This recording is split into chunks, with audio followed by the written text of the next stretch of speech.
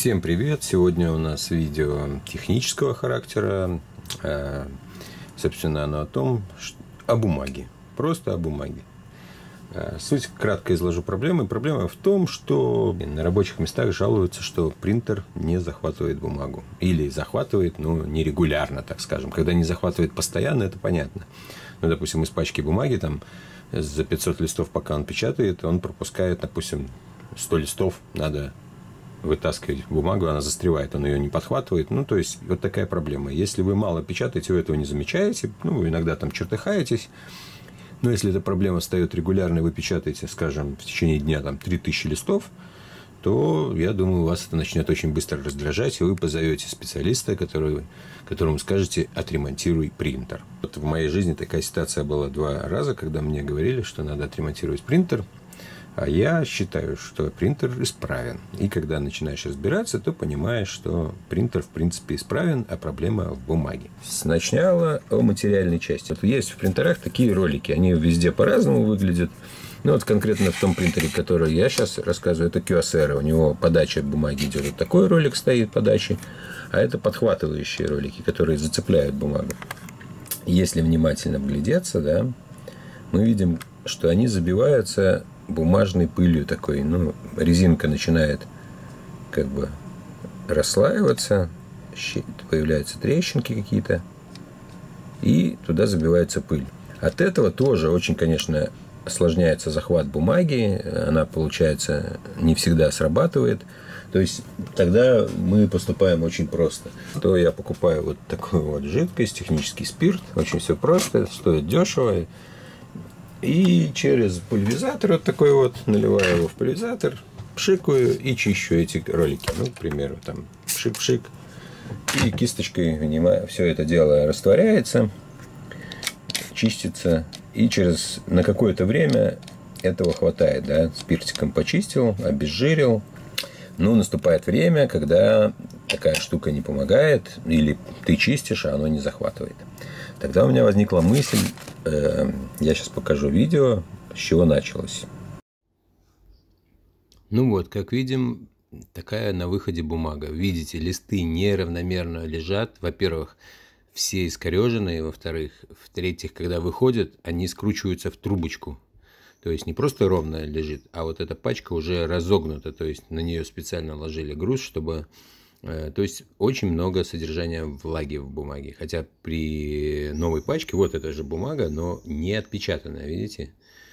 И мы ее взвешиваем. То есть она красивая на вид. Вы можете купить в магазине вот такую вот бумагу. Но если она весит 2400 и это с водой, то есть она сырая, ну, на ощупь это не чувствуется, но поверьте, там воды много, влага, влажность этой бумаги очень большая, потому что при выходе из печки она, видите, как себя ведет. При этом найти, э, так скажем, знаки распознавания, кто произвел и что это за бумага, категорически невозможно. Просто абстрактные какие-то анталисы, имидж какой-то, в общем, сайт европейский какой-то указан. Ну, короче говоря, Фуфло. Ну, в общем, смысл вы поняли. Я посчитал, ну, я ничего не считал. Сейчас не нужно ничего считать. Сейчас заходим в интернет и набираем, э, сколько весит бумага А4 или площадь бумаги А4. И если можете, конечно, сами посчитать, но зачем считать то, что уже за нас подсчитано. Площадь бумаги, значит, одного листа 6 э, сотых с копейками там. В общем, мы знаем площадь бумаги, и мы знаем, что бумага 80, 80 э, грамм на квадратный метр. То есть квадратный метр бумаги должен весить 80 грамм. Все просто.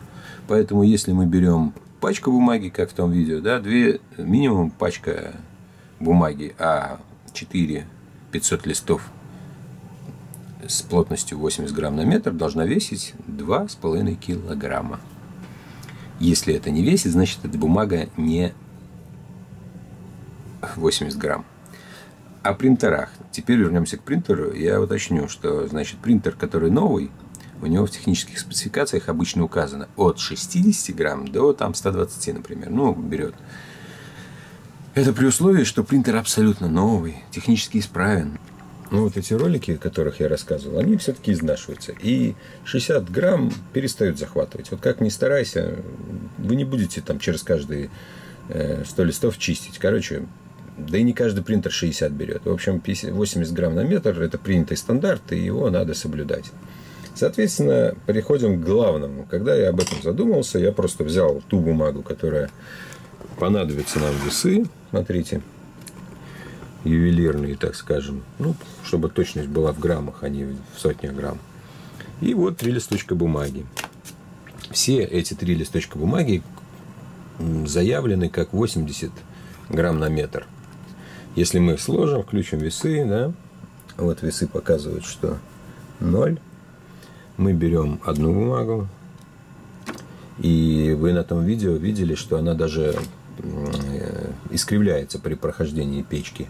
Это говорит лишь о том, что она очень влажная. Так вот, она с влагой, смотрите, 4,90, а весила она еще меньше. Это я не знаю, это она уже набрала влаги, пока я ее в кармане носил.